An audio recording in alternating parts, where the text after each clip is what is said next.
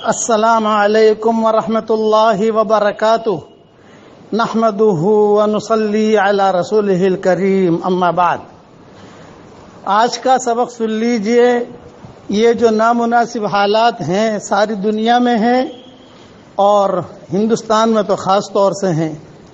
इसमें अगर क़नूत नाजिला शुरू हो जाए आवाम तो जानते नहीं बेचारे, मैंने अभी मुख्तसर एक्स्ट्रा सबक भेजा क़नूत नाजिला पढ़ो।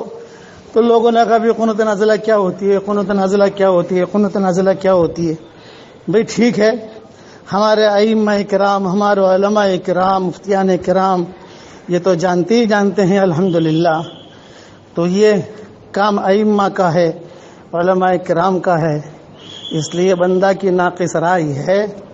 कि अगर इसका अहतमाम किया जाए तो इन सुन्नत पर अमल भी होगा और जो नामुनासिब हालात हैं, अल्लाह इन नामुनासिब हालात को मुनासिब हालात से बदलेगा इन इसका ताल्लुक ज़्यादा आवाम से नहीं है, बल्कि अम कराम से है।